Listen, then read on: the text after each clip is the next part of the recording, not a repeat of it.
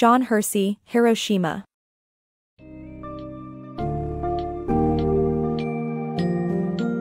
Dive into the tragic world of Hiroshima by John Hersey, as we follow the stories of six survivors of the infamous atomic bomb attack in 1945.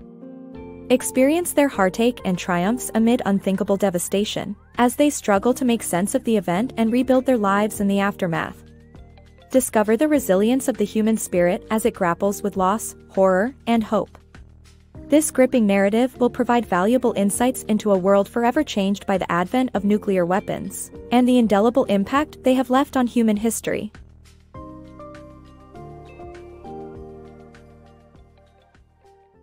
Surviving by Chance On August 6, 1945, the lives of six Hiroshima residents were changed forever. Reverend Mr. Kiyoshi Tanimoto was helping a friend move when the atomic bomb dropped. Mrs. Hatsuyo Nakamura had evacuated the city center with her children, and Dr. Masakazu Fujii was sitting on his porch reading the newspaper. Father Wilhelm Kleinsorge was in the mission house, and Miss Toshiko Sasaki was at her desk when the blast hit.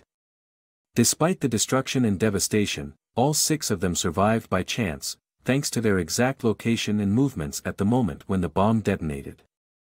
The survivors were buried in debris and trapped under the rubble, but they managed to pull through.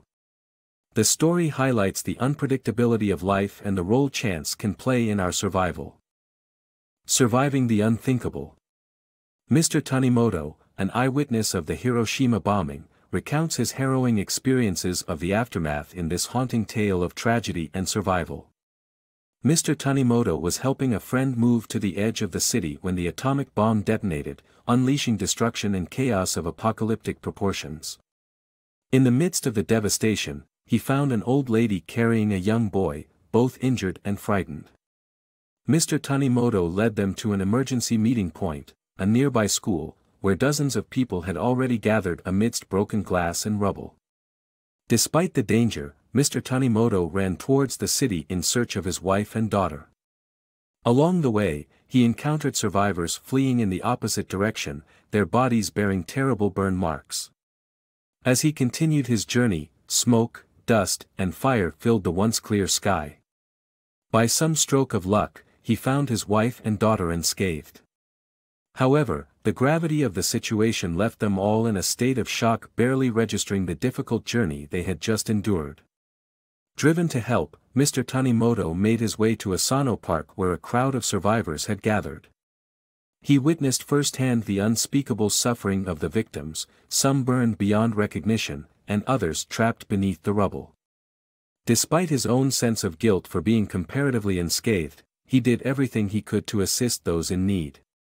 In this chilling account of the Hiroshima bombing, Mr. Tanimoto's bravery and resolve in the face of disaster serve as a reminder of the resilience of the human spirit.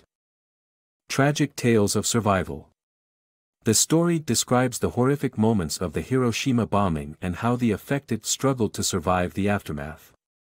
The summary revolves around the accounts of six individuals, Maiko, Father Kleinsorge, Mr. Fukai, Dr. Fujii, Dr. Sasaki, and Miss Sasaki who were faced with different challenges. The Hiroshima bombing was an event that will forever remain engraved in the world's history. This book's summary chronicles the story of six individuals caught up in the catastrophic event.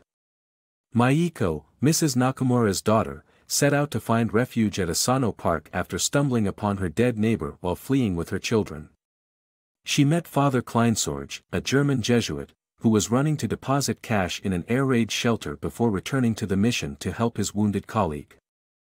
Dr. Fujii found himself trapped in the river for 20 minutes after the bombing, but he fought his way out after realizing that the tide was approaching. Despite his immense pain, he helped those nearby before embarking on a long journey to his family's house outside the city. Dr. Sasaki, assigned to the hospital, treated the injured tirelessly for 19 hours with no breaks. Miss Sasaki was buried under rubble, unable to move and waited with two other dying individuals for two days until rescue came. The book's summary describes the horrifying aftermath of the bombing, with almost a hundred thousand people dead, and just as many injured. The individual's accounts highlight the devastation caused by war between the inhumane horror of the Hiroshima bombing, the struggle for survival, and the spirit of solidarity. Survival in the aftermath. Mr. Tanimoto and his fellow survivors find ways to cope with the aftermath of the atomic bomb, from ferrying the injured to scavenging for food and water. As the first evening approached after the bombing of Nagasaki, Mr. Tanimoto, Father Kleinsorge, and the Nakamura family sought refuge in Asano Park. Though a hospital ship was promised, it never arrived. Mr. Tanimoto, realizing that the park was not safe enough for the worst injured, brought a small boat over to ferry the least mobile individuals to a safer spot on the other side of the river. But even this brave action became more chaotic as a whirlwind appeared. The next morning, Mr. Tanimoto discovered that the tide had taken away the bodies he had brought to the other side of the river. Meanwhile, Father Kleinsorge and Mr. Tanimoto searched for food, finding that the heat of the bomb had roasted the pumpkins in the garden. Later, Mr. Tanimoto returned to his work of ferrying the injured to safety. Despite their desperate situation, there were small moments of hope. Miss Sasaki was eventually rescued by friends, and was taken to a military hospital. Dr. Sasaki worked tirelessly at a nearby hospital, but eventually took a break to rest after walking to the suburbs to call his mother and let her know he was alive. As these brave survivors struggled to stay alive and help each other in the aftermath of the atomic bomb, they faced yet another tragedy as a second bomb dropped on Nagasaki. Surviving Hiroshima In the aftermath of the atomic bomb, the people of Hiroshima struggled to understand what had happened while trying to survive amongst the wreckage of the city. Rumors spread about the cause of the explosion, but only a team of physicists understood the real situation. Despite the devastation, individuals like Father Kleinsorge, Mr. Tanimoto, Dr. Sasaki, and Miss Sasaki continued to help others and persevere through their injuries. Nine days after the blast, Emperor Hirohito's radio announcement marked the end of the war. Hiroshima's weedy aftermath. Devastation, radiation sickness and Father Kleinsorge's response after the dropping of the atomic bomb on Hiroshima. On September 9, Miss Sasaki is taken to the Red Cross Hospital, where she can finally see the devastation that the atomic bomb had wrought on Hiroshima. Despite the horrific destruction, she is surprised to see a vibrant covering of greens, weeds that had gone into overdrive due to the bomb's stimulation. As Miss Sasaki becomes the patient of Dr. Sasaki, her health is passable, but she has several small hemorrhages all over her skin. Likewise, Father Kleinsorge and Mrs. Nakamura also experienced unusual symptoms due to the bomb's radiation sickness.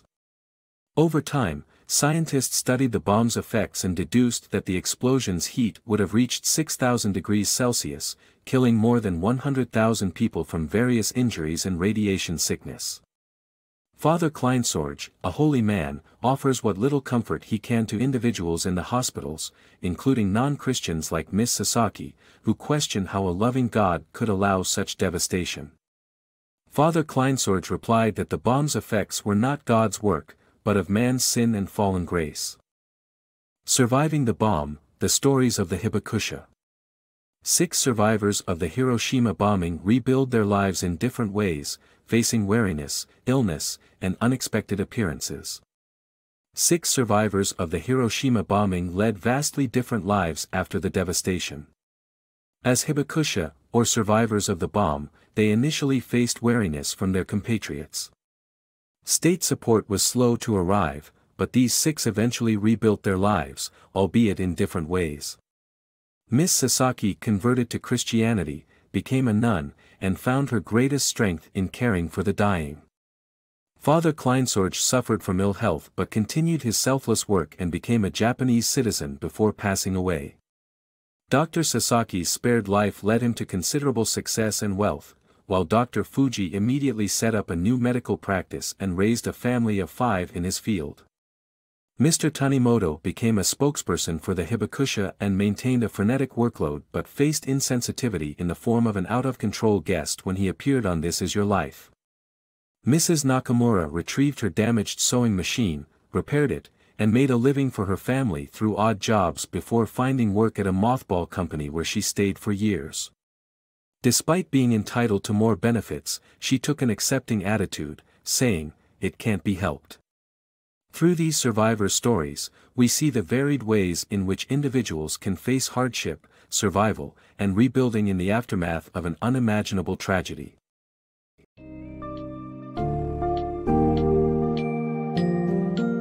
As we reach the end of our journey through Hiroshima, we witness the long-term effects of the atomic bomb on the lives of the six survivors and the city they called home.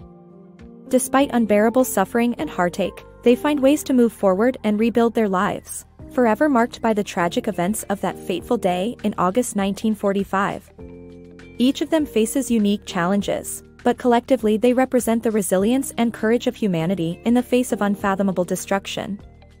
We learn that amidst tragedy, hope can still be found, and life carries on, despite the lingering shadows of the past.